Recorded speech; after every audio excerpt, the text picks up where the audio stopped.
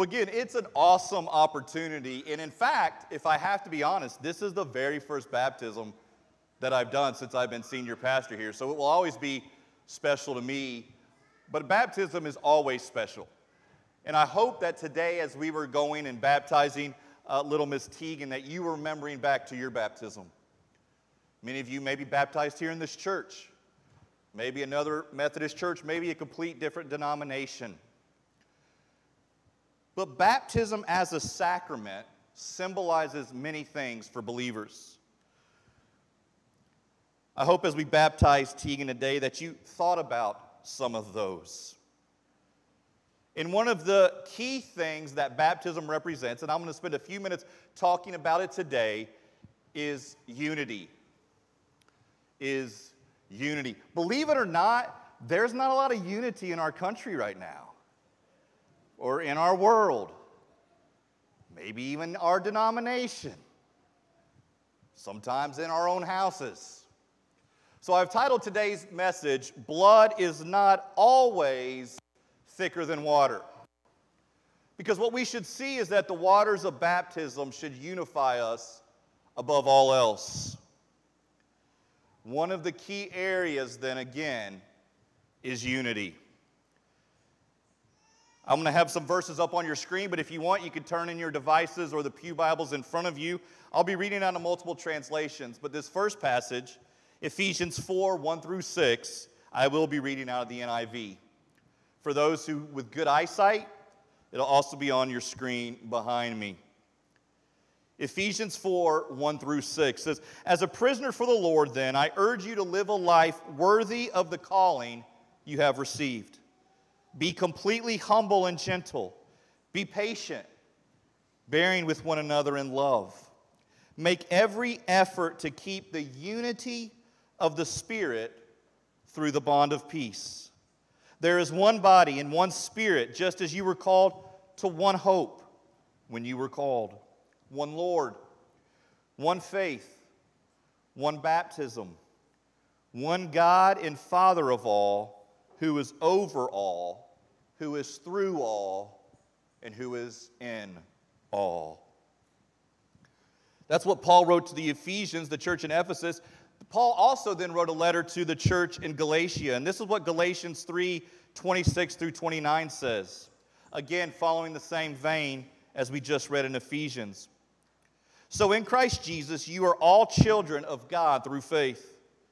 For all of you were baptized into Christ and have clothed yourselves with Christ. There is neither Jew nor Gentile, neither slave nor free, nor there is male or female for you are all one in Christ Jesus. If you belong to Christ, then you are Abraham's seed and heirs according to the promise. So it's very clear, at least from Paul, and here in a few minutes we're going to see from Jesus as well, that the bonds of unity are very strong, or they should be very strong, especially amongst the church universal and the body of believers. Today, I'm going the next slide. Usually, I try to crescendo or come up with the big ending, but today, the question you're about to see is the main point of today's message.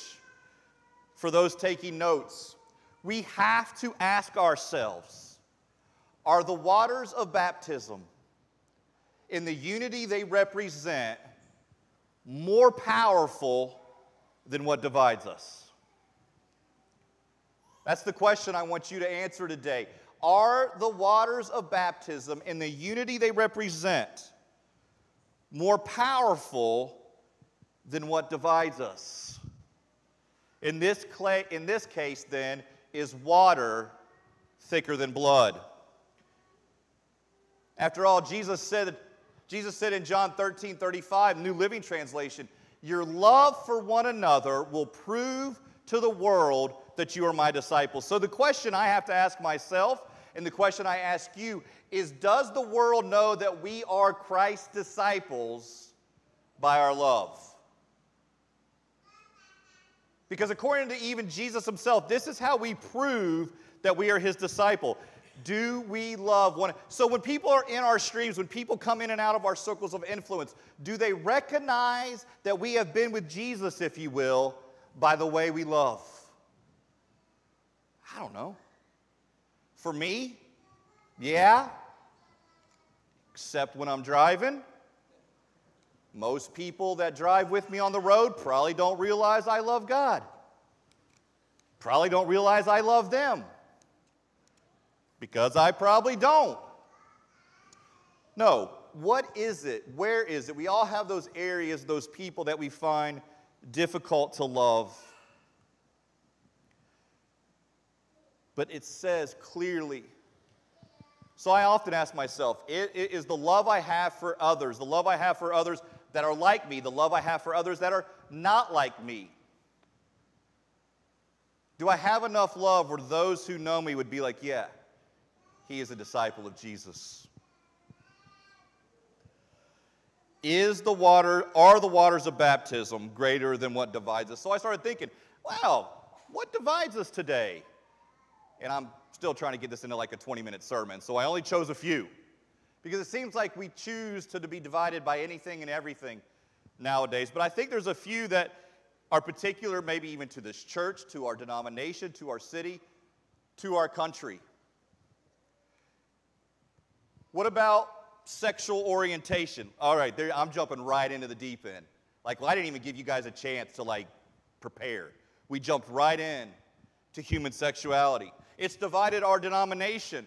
As many of you are aware of the past few years, many, many churches have left the United Methodist denomination to start other denomination, to go other places, because we could not continue, or we many felt they could not continue to be united because we felt different about this issue. I can't find it anywhere in the Bible where it says I'm not supposed to love every single person, no matter of their sexual orientation, like they are made in the image of God. Amen? Oh my God, that was quiet. Amen. Woo! It's not in there. I'm not here today to talk theology about it. I'm not here today to say what's right and wrong and what's sin. I'm just called to love everybody. And I don't see a passage in Scripture that says I'm not supposed to love those whose sexual identity might be different than mine. We've seen how it's tore up an entire denomination, and we're just, we're just the next one in a series of denominations. Our Presbyterian friends, our Episcopalian friends, just to name a few, have already gone through this themselves. Our world is divided over it now, it seems more than ever. Are the waters of baptism more or stronger than how we feel about human sexuality? What about race? ethnicity, or color. Should be no surprise that not only are we struggling to understand how to get along with one another in sexual orientation, but with race, color, and ethnicity. It's only been two, three, four years since George Floyd, George Floyd happened and other things that have caused what has already been underlying underneath the surface to bubble up and explode. Do the waters of baptism unify us more than the color of our skin? I hope so. I hope so. What about our nation? Christian nationalism all in the news. And again, I'm not here to talk to you about what that means. We're to we're to get into a series uh, probably in August. We're to start a series that'll probably last a couple months on how to be a Christian in the political arena because it is important as we come into a time of election. No, no time during that will I tell you how to vote. Legally, I'm not allowed, but personally and morally, I don't think that's right. But we'll look at ways to be a Christian in this circle. So I'm not here to argue for or against nationalism. I have an opinion on it, but I'll save that for personal conversations. But is what unites us in the waters of baptism stronger than nationalism? If so, then we have to worry about our brothers and sisters that don't live here in America. We should weep for the thousands and thousands of people, Palestinians who have died. We should weep for the thousands and thousands of Israelis who have died, bonded by the waters of baptism. Those in Ukraine and Russia, what's going on in Central America and Africa and all over the world. Do the waters of baptism supersede how we feel about our nation? And the truth is, we have brothers and sisters we'll never meet this side of eternity who will never step foot in our country, and I still, just like human sexuality, find nowhere in the Bible where it says anything other than I am supposed to radically love them. Amen? That was louder. Here's a good one denominations. All right, Pastor, I can love people who are different than, than sexual identity. I can love different colors. I can love different nations. But we all know that United Methodists are the only ones that are going to be in heaven. That was a joke. But so many times we're divided by this. To me, it's, it's an awful. We've talked about this at this church quite a bit. There's now over some, somewhere over a thousand different recognized Christian denominations in the world. Over a thousand denominations who, in some way, recognize themselves and report themselves to be Christians. How dare we talk about unity? And the truth is, most churches and denominations split over the color of the carpet than they ever do about theology, anyways. But truth is, when we're united in Christ, the waters of baptism supersede that. And in truth, if you look at the core tenets of the world's major, religion, major religions, and we think of Christianity, Islam, and Judaism are the three main. There's others, but the three main. There just came out a report that they share 15 core characteristics. And when you look at those 15, included in maybe the Ten Commandments and others, you would realize we agree on about 90%. Not a lot of people out there waking up not thinking they should love their neighbor, kicking the dog, right? Murdering somebody. We don't, we don't think those ways. We have these things in common, yet over a thousand different Christian denominations. Many times in this church, I've said Satan's greatest or Satan's number one goal is our destruction. His number one tool is our division. Right? Abraham Lincoln, a house divided cannot stand. I'm surprised how we're still standing when there's over a thousand different denominations. Split on matters much less trivial or much more trivial than the ones we're talking about. Do the waters of baptism supersede your denominational appeal? And then here's the one that's going to get me kicked out of the church. But I'm here to tell you today that the lion of Judah is greater than the elephant or the donkey. I'm going to say it again. The lion of Judah is greater than the elephant or the donkey. We are so divided today. I try as much as I can to watch what's going on in our political arena. Again, the last eight, nine days have been pretty, uh, pretty amazing, and at least on the, especially on one side, we have a, uh, what they're calling a possible assassination attempt. Again, we're not getting into that. I'm not going there, but uh, that's what they're calling it. And then a, a, a, huge four or five days of a general conference. On the other side, uh, we have what seems like disunity in deciding if the current president uh, should be able to even finish out his term and run again. That's, that's problems inside those own parties, alone across party lines. But the Lion of Judah, the waters of baptism are stronger. They should be stronger than what's coming up in the next few months, what's coming up in November. I don't know who will be sitting in the Oval Office, but I know who will be sitting on the throne. The lion of Judah must be greater than your elephant or your donkey. We're going to be there. We're going to spend quite a bit of time there in the weeks ahead.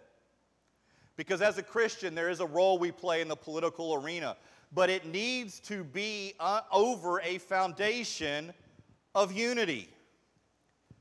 This was so important to Jesus that he even prayed this prayer in one of the final times in the Bible. John 17, 20 through 23. This time I'm reading out of the New Living Translation. This is Jesus praying. Now, Jesus could pray for a lot of things, and he did.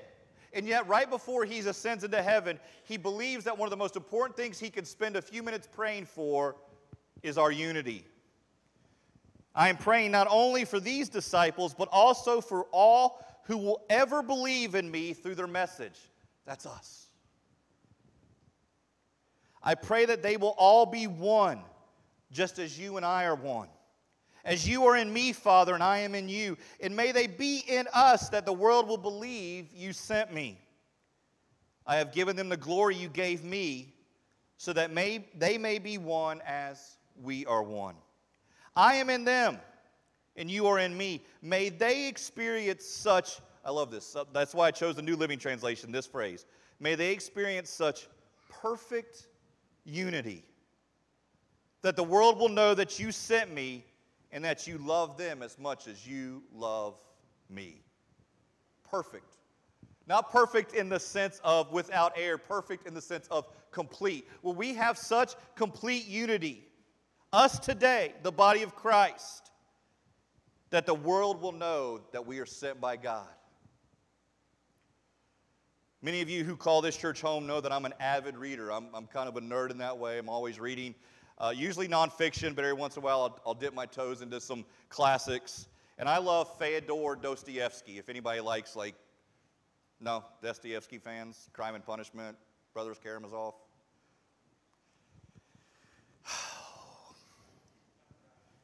Tough crowd. Tough crowd. All right, well, here's what Fyodor said one time in, in his very famous novel, The Brothers Karamazov. To love a person means to see them as God intended them to be. That absolutely is one of my favorite definitions of love. And if I love people that way, it would radically change how I see them. And that's why Jesus was so good at that. Jesus would look through the muck, in the mud, in the mire, in the scars, in the sin, and he would keep talking to someone until he found the divine spark that we all have, and he would talk directly to that. What would it look like if we all saw people the way God intended them to be? It would mean loving the different.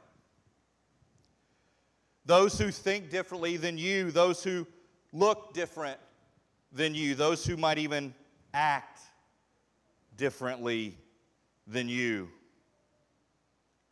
To love a person means to see them as God intended them to be. Look at these verses found in 1 Corinthians 12, 4 through 6, and 12 through 14. Paul, again, this time to the church in Corinth.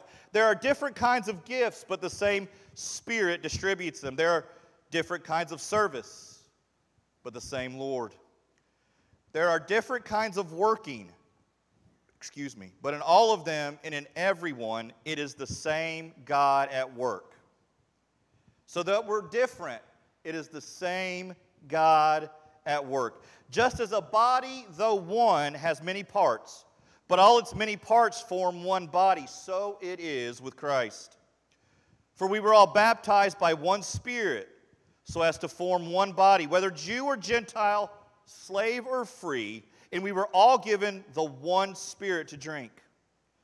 Even so, the body is not made up of one, but of many. I'm going to ask our team to come forward as we get close to our close, just a few more minutes. Loving people is hard. Is loving people hard for anybody else, or is it just like the pastor and that makes me the worst pastor? Uh, all the congregations like it's easy to love everybody. Our pastor hates you. All right, like, but people are the worst sometimes. Come on, people can be the worst. There's a, as an introvert, um, I love, I, I like you know, people of, of like mind who are introverts, and social media never disappoints. There's always these great memes about people and introversion. And there's one I saw again this week. I've seen it many times, but it's this person walks outside and walks back in and says, basically the line is like, I'm staying inside today because it is way too outside. Right? And I got to be honest, uh, I feel that way sometimes. I'm like, nah, I'm staying in. There's way, it's way too peoply out there. Because it is hard. It is hard. I'm not saying it's easy. No one is saying it. Jesus doesn't say it's easy. He just says it's necessary.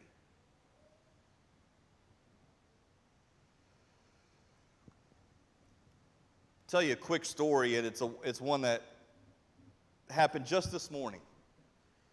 And God doesn't usually like hit me over the head with things. I mean, every time he talks to me, he hits me over the head because I'm stubborn. but I don't always get that, especially on the way to church. But I'm driving on the way to church today, and I get over here to the corner of State and Wells. So I'm coming up uh, Wells in the corner of State there, right down here by the Pizza King, and I see a guy coming at me on his scooter, one of those little scooters, and he's, you know, he's doing the, if you guys can remember back 25 years to Dumb and Dumber, where they're just kind of doing this on the old hog, it's kind of what he looked like, right? He's kind of doing this driving down the road. And the first thing I thought of was, aha, drunk driver had too many DUIs, and now he has to ride a liquor sickle. It's exactly what I thought.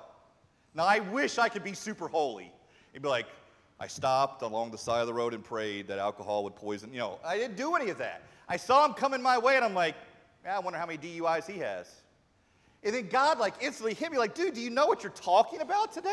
Like, loving people? And so right then, I was like, God, I forgive me for thinking that he's probably just really poor. Crap, over two. On the way into church today, talking about how the waters of baptism unify us, how we're supposed to love everybody who's different than us, I batted 0 for 2. First, I thought it was a liquor sickle. Then I was like, oh, maybe not. Maybe he's just really poor, and, you know that's what he has. And I didn't mean it derogatory, but even just thinking that way, it's like God just stopped me in my tracks and said, really?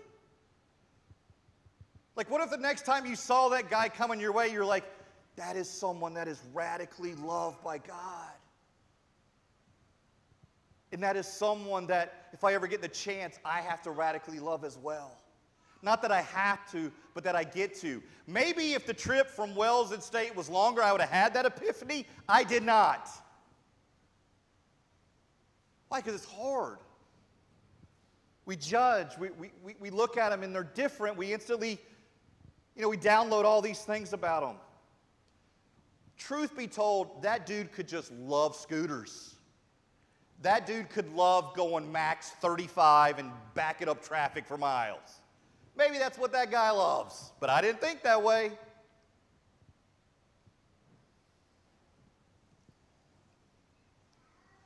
Truth is, if he has 10 DUIs, truth is, if that's all he can afford, the truth is, it doesn't matter. What does it matter? There is nothing that guy could represent that would cause God to love him any less. And as God's disciple, I'm supposed to feel the same. Amen?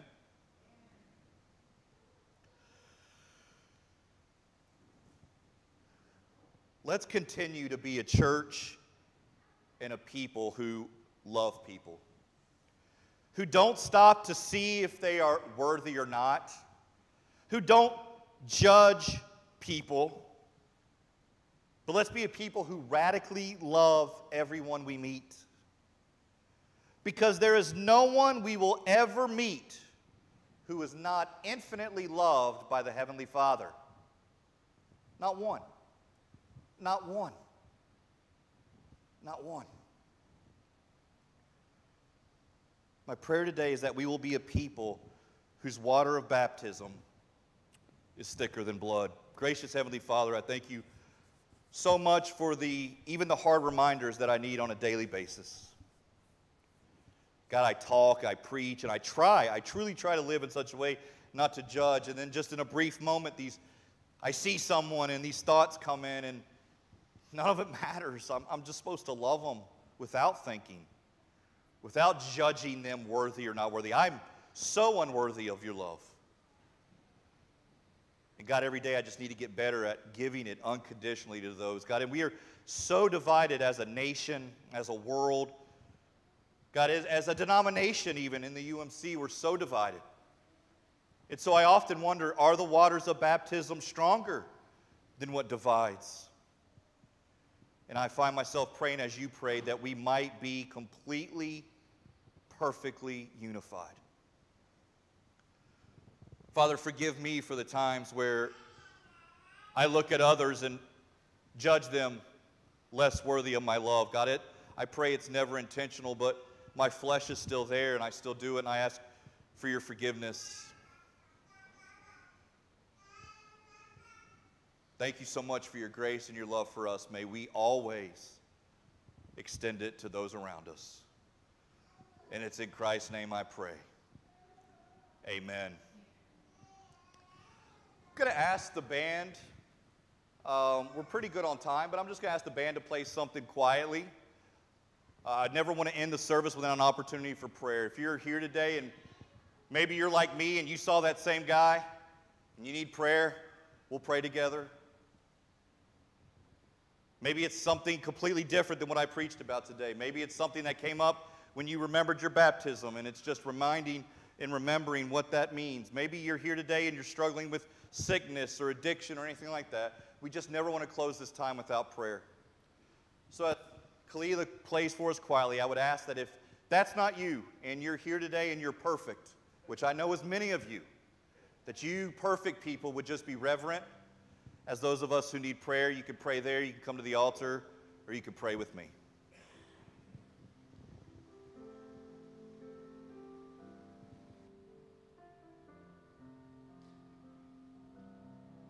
Let the king of my heart be the mountain where I run, the fountain I drink from. Oh, he is my song.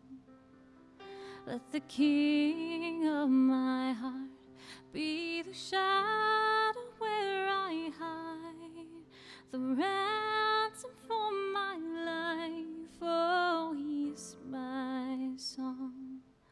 You are good, good. Oh,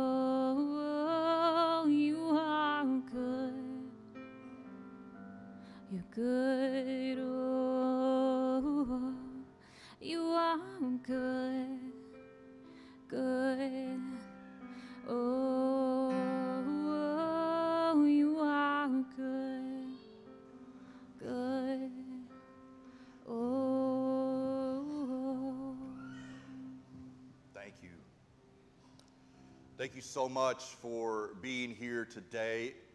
Always special when we can get together. Something a little extra special as we get to celebrate with Miss, Miss Tegan today, the baptism. Again, here in a, a couple weeks, I think we're going to start a series on, again, being Christian in the political arena, kind of continue in this unity thing.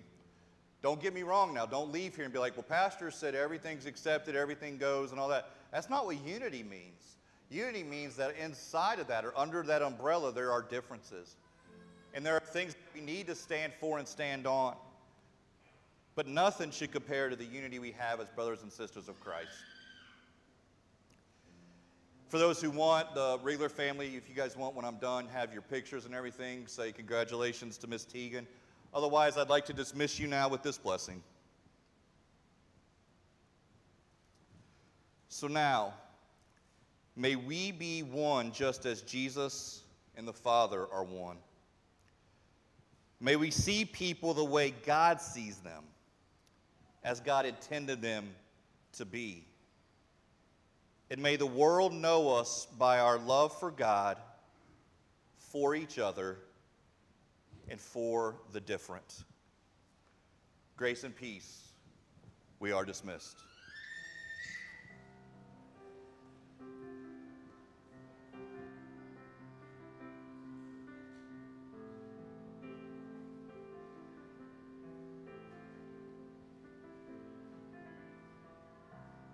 You're never gonna let, you're never gonna let me